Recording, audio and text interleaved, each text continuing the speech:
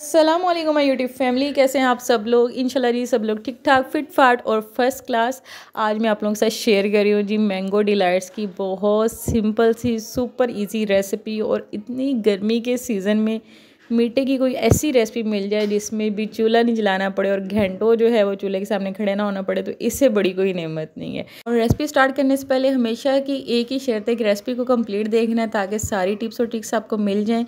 तो करते हैं जी रेसिपी को स्टार्ट बिस्मिल्लाहिर्रहमानिर्रहीम यहाँ मैंने ली है जी विप्ड क्रीम नेस्ले की डेरी मिल्क की। आप कोई भी क्रीम ले सकते हैं, लेकिन विपिंग क्रीम जो है वो नेस्ले की काफ़ी अच्छी है। और क्रीम को विप करने से पहले ये ज़रूरी है कि क्रीम जो है वो बिल्कुल चिल होनी चाहिए। और ये जो बाउल है, ये भी मैंने फुल चिल कर लिया है, क्योंकि क्रीम और जो बाउल है, ये मैंने दोनों जो है वो ऊपर फ्रीज़र वाले खाने में रख दिए थे फ्रिज के अंदर। तो इसको हमने खोल लेना है। यहाँ जो क्रीम विप करने लगी हूँ ना, वो मैनुअल बीटिंग से करने लगी हूँ, क्योंकि अक्सर घरों में जो है वो इलेक्ट्रिकल बीटर नहीं होता है ठीक है? तो यहाँ मैं आपको बहुत सिंपल सी रेसिपी शेयर कर रही हूँ आपके साथ और जो आपको लिए बनाना सुपर इजी हो। कोई ऐसा टूल कोई ऐसा इंग्रेडिएंट इसके अंदर यूज़ नहीं कर रही हूँ जो आपको लगेगा कि अवेलेबल नहीं है और हम ये रेसिपी ट्राई नहीं कर सकते।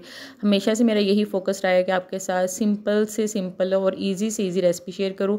ये देखिए यहाँ मैंने मैनुअल बीटर लिया है। जैसे ही आप विप क्रीम को बीट करना स्टार्ट करते हैं तो क्या होता है कि ये गर्म होनी स्टार्ट हो जाती है। इसका कूलिंग टेम्परेचर डाउन होना स्टार्ट हो जाता है जब आप मैनुअल बीटिंग कर रहे होते हैं। तो लेकिन हालाँकि मैंने इसको फुल चिल किया था क्रीम को भी और बाउल को भी। तो अभी मुझे बीट करते हुए तकरीबन दो से तीन मिनट हो गए हैं और मुझे आइडिया हो रहा है कि क्रीम जो है वो थोड़ी हीट अप हो रही है।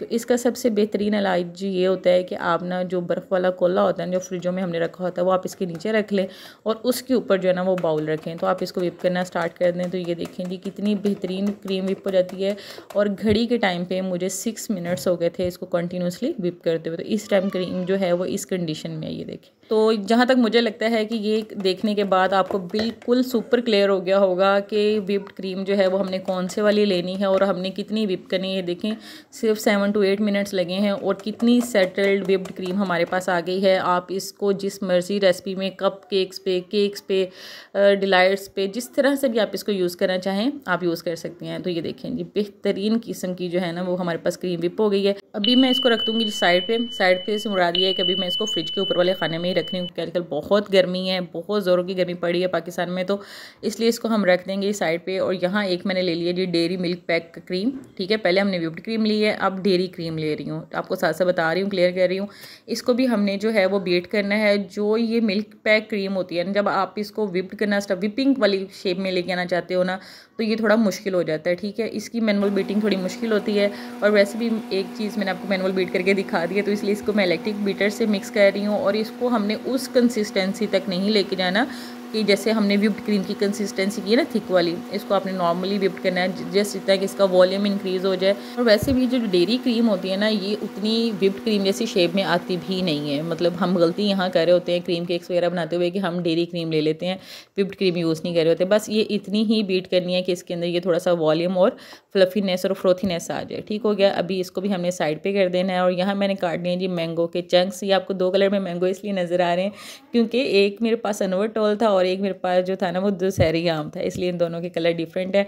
तो यहाँ हमने जो एक प्लेट है, जो हमने चंक्स कट किए हैं, उसको साइड पे कर देंगे और एक को जो है ना हम ब्लेंडर में ऐड कर देना है। उसमें ऐड कर रही हूँ जी चार बड़े चम्मच चीनी के। अच्छा यहाँ पर अगर आप शुगर को स्किप भी करना चाहें ना, आप स्किप कर दें। लेकिन ये कि शुगर से बड़ा अच्छा सा फ्लेवर आता है। तो बाकी ये कि हमने विप्ड क्रीम में कुछ भी ऐड नहीं किया तो थोड़ा सा इसके अंदर फ्लेवर इन्हेंसिंग के लिए आप शुगर ऐड कर लें। तो ये देखें जी, इसको हमने कर लेना ब्लेंड ब्लेंड करने के बाद ये हमारे पास एक बड़ा ही अच्छा सा मज़े का पल्प रेडी हो जाएगा।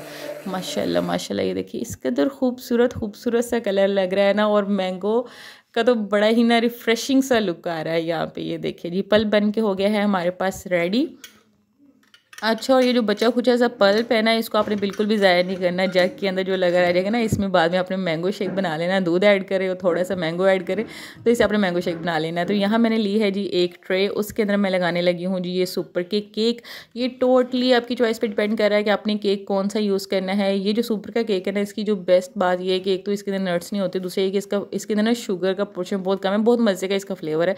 लेकिन ये आपकी चॉइस पर डिपेंड कर रहा है। ये एक्चुअली जो मेरे पास ये केक थे ना, वो थे साथ।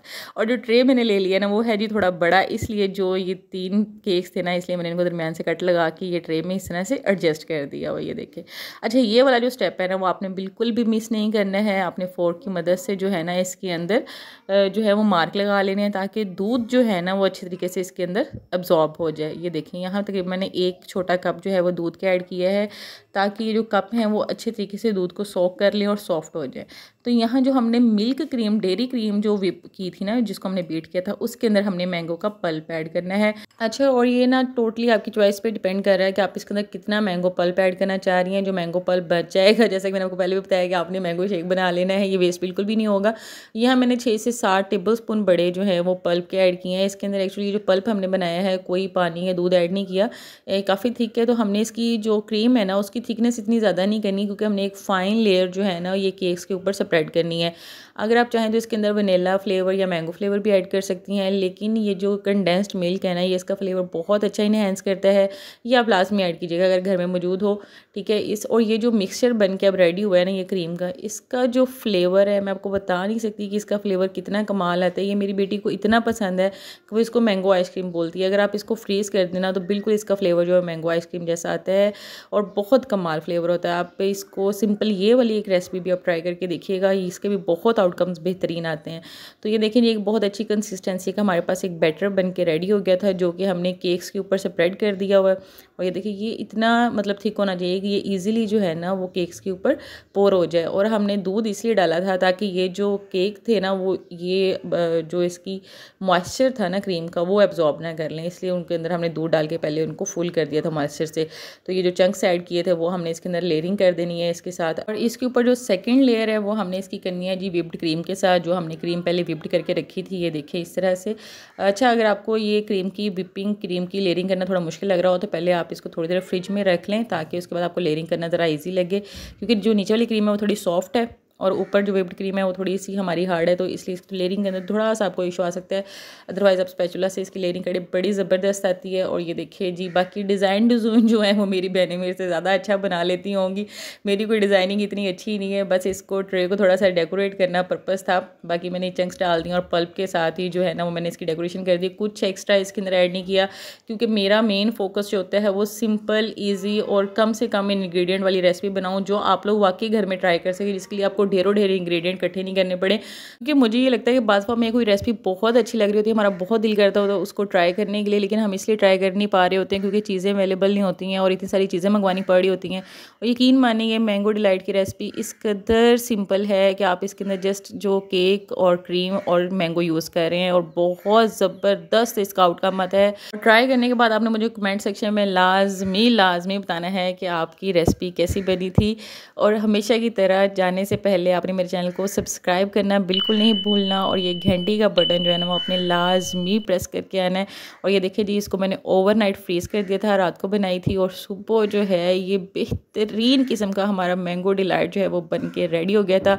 It's too too too much yummy आपने लाजमी ट्राई करना है। दोबारा मिलेंगे जी। अल्लाह हाफिज़।